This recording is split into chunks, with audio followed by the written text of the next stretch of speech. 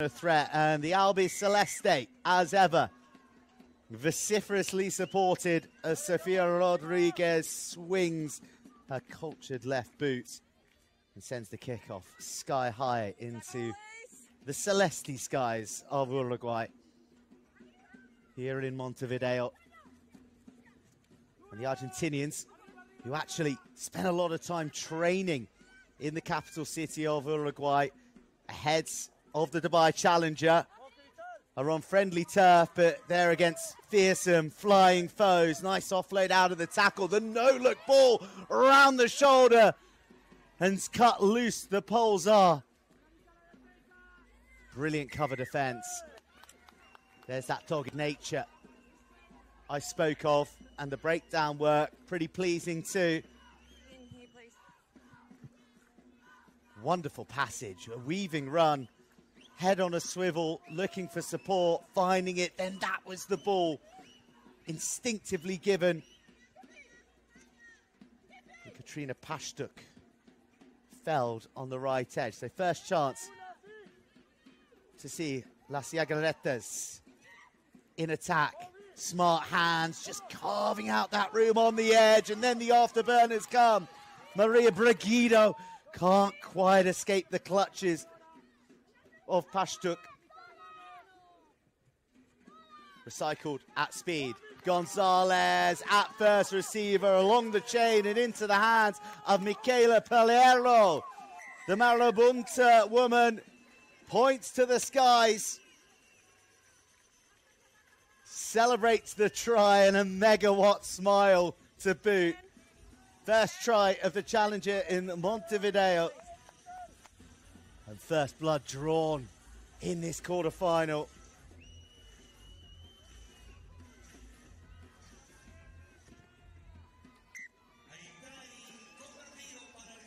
Gonzalez, so often the linchpin.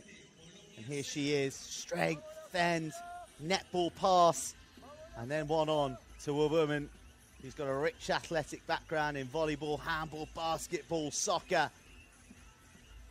She knows how to score in any discipline, but she's doing it here at the Challenger Sevens.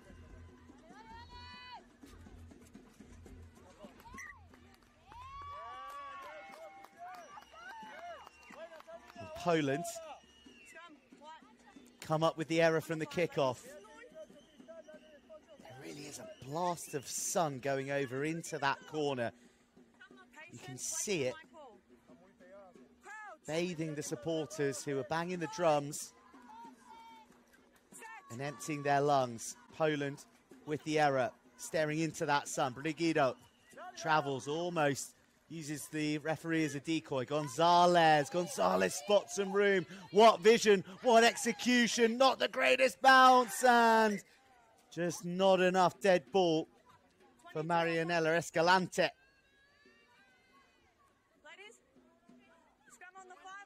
The bounce just never wanted to settle in favour of the 22-year-old, did it? 22 dropout.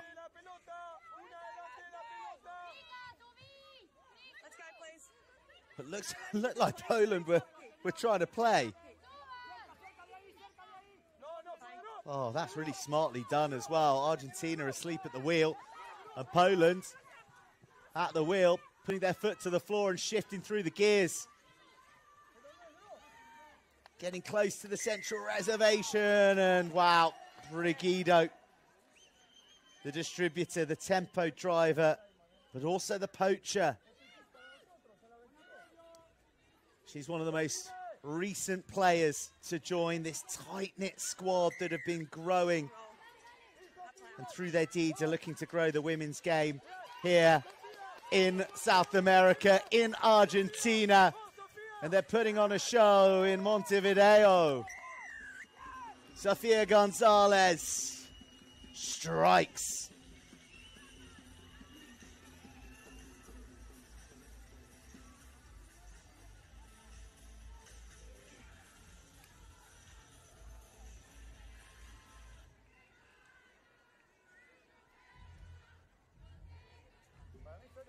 Escalante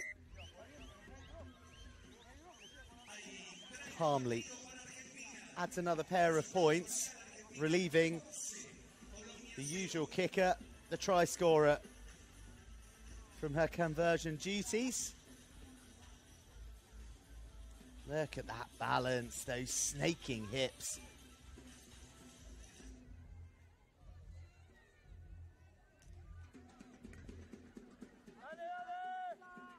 Fast start from the Argentinians. It's their victory over Poland in their opener in Dubai that really sent a message to the tournament that they weren't to be underestimated and they continue to build on the promise. Some sophisticated shapes offered up by the Polish backs and a lot of room to go driving into. Zawadzka roller skates her way up to the 10 meter line. The hard press comes up from Argentina. The loose pass works out in favour of Poland, in favour of Marta Morris. Skillful 20 year old needs none of the guile. Just all of the pace, and she does have so. First in this encounter, second in Montevideo, a much needed score for the Poles.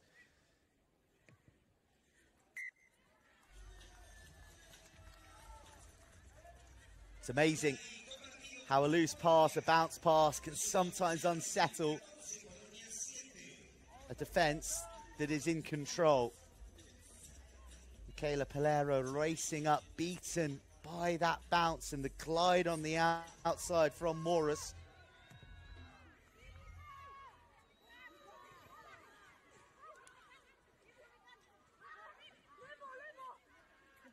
Argentina don't retain the kickoff. Ah, serious injury here, ladies. We'll restart with a red scrum. Serious injury and some alarming sounds as well. Safety as ever paramount.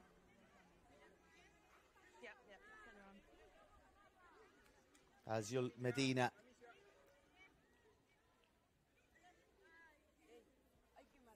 Oh, and just an awkward fall and a limb trapped underneath the weight of her and the tackler. You know, rugby in all its formats brings some of the most colourful, the most vibrant fans from around the globe.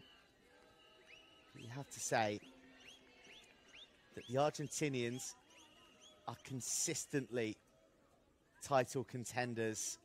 The way that they connect with their players, both male and female, especially on the Seven Circuit, is something to truly behold.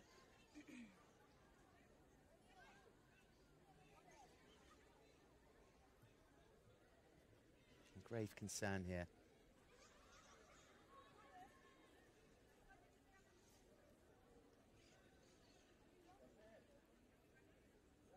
And this will be tough for the Argentinian women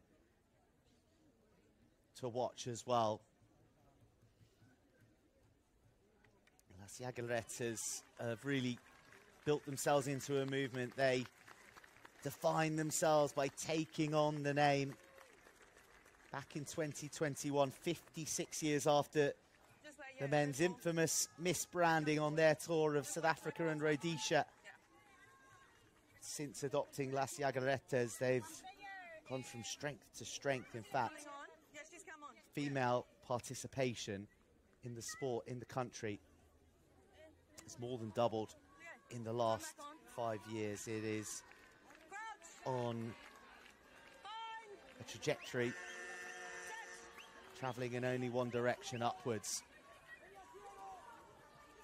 Play restarts. Poland looking to end the half on a high. They've been living on scraps as far as attack is concerned. Uh, Once again, they go seeking a bit of width and back their pace. Oh my goodness, Vitovska almost carrying two defenders along with her. Poland looking threatening. Running hot here, five meters from the Argentinian line. Big defense coming in from Medina. Out to the right hand corner, a surge to the line, and a finish from Katarina Pashtuk.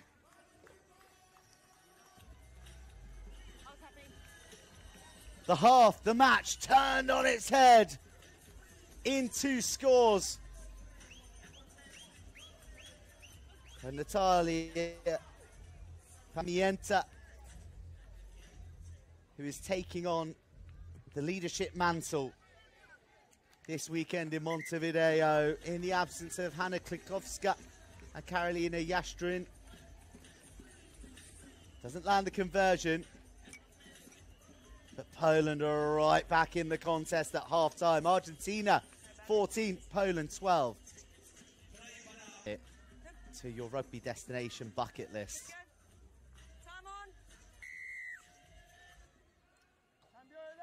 Seven minutes at the Estadio Charrua to separate Argentina and Poland in this quarter-final. China and Uganda, they've already booked their berths. Argentina were there last time. That was the stage at which they fell. They survived a tight tussle against Thailand already in this competition. 10 7 yesterday. They lead here by two, but the momentum with the Poles. But the possession with the Argentinians. The slick, slick hand and the supersonic wheels of Sofia Gonzalez wearing white and blue and streaking to the line. They were looking tight. They were looking under pressure. But their go to girl, Gonzalez, delivers.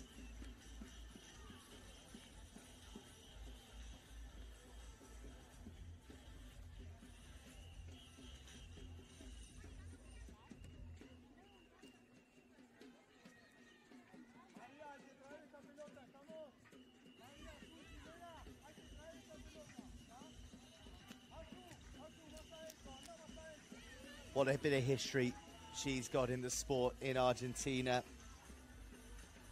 She goes as far back as the Pan American Games in Toronto back in 2015. The playmaker from Buenos Aires. She lands the kickoff on green grass, and her teammates gobble up the opportunity to have another attack. Medina Tackle roll. Well, great awareness to release, pick up, and go again. Gengini. Well, Gonzalez, nowhere to go. Set upon by Yulia Druzgala. Oh, just the sniff of an intercept. It's high risk, and when not rewarded, there has to be retribution. Poland reduced to six for the next two minutes. Time is still off. The comeback task gets just that little bit taller.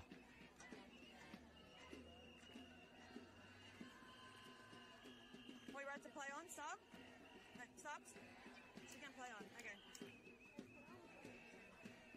More concern for Argentina as another one of their players is Okay. Stop. Bring her on. Down stricken.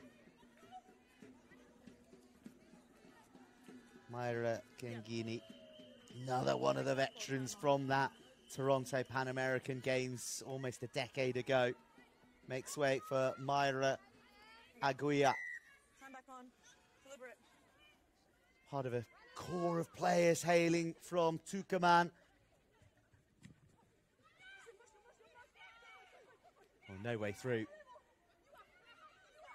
Pretty enthusiastic on the clear out, but the penalty goes the way of Argentina, who are offering a bit of danger to this Polish defensive line. And for once, Sofia Gonzalez doesn't deliver the goods, doesn't deliver the pass. It would have been a try scoring one for Escalante.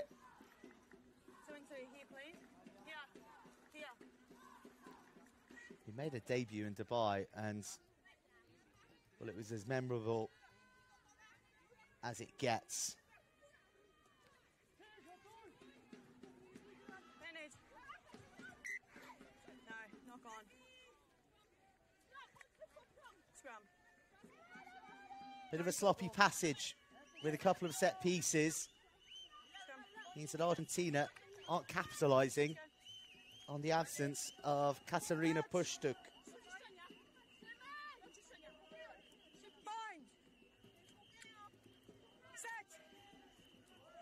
But the clock ticks down. Three minutes and a bit of change remaining of this quarter final. No sweeper. So Poland go boot to ball. Almost the footing lost then. Matadoring and stepping and weaving and putting the foot to the floor. Myra Aguia. Sensational from the substitute.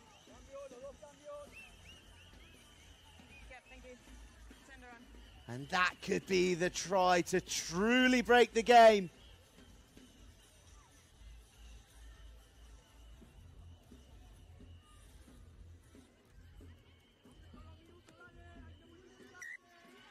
Gonzalez points to the skies in celebration as she drills that one home. Argentina and Aguirre turning defense into attack in the blink of an eye.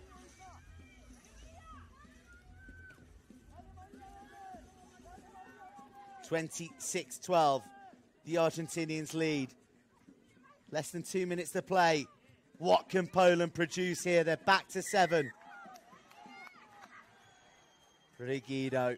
Brigido once again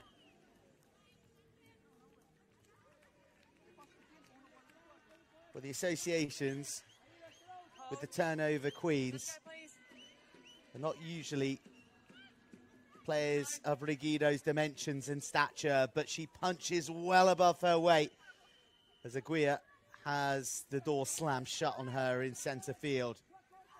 A Bit more direct from Argentina. Aguirre late to arrive at the ruck, get some protection from the referee's whistle. Aguirre Well, she's full of beans after that try, and why wouldn't she be? Here goes Andrea Moreno. Number 12. Number 12. And persistent penalties Marks up here. stacking up. On the line. I think sees Poland's Sylvia Wikowska sent to the sin bin. It's 7 on 12 again. That's good press defence. And Poland come away with a lifeline.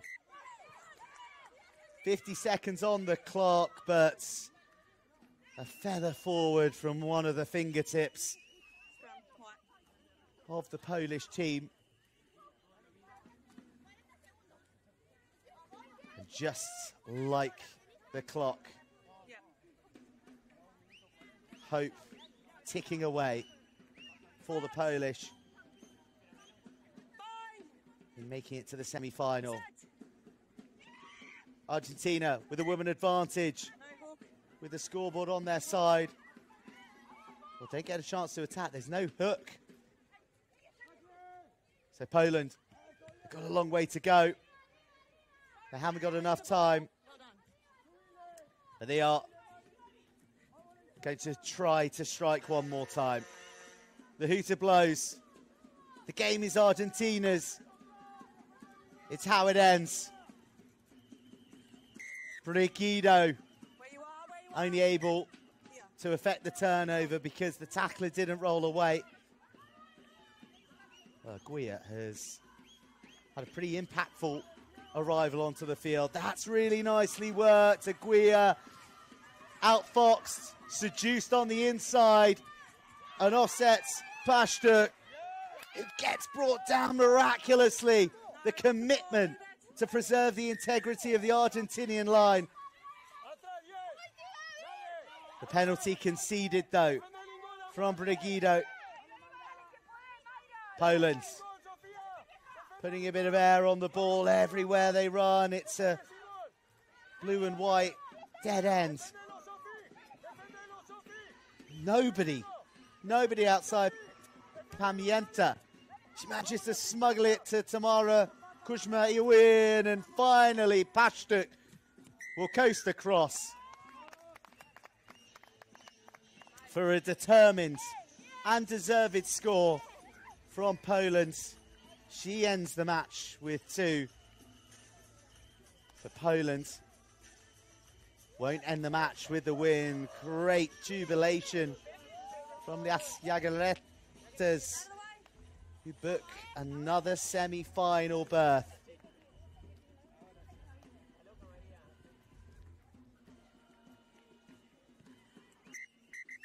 No extras to add from the Buta Pamięta. Poland have the final say.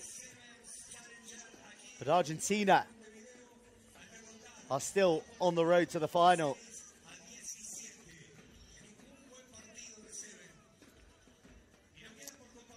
Full time here.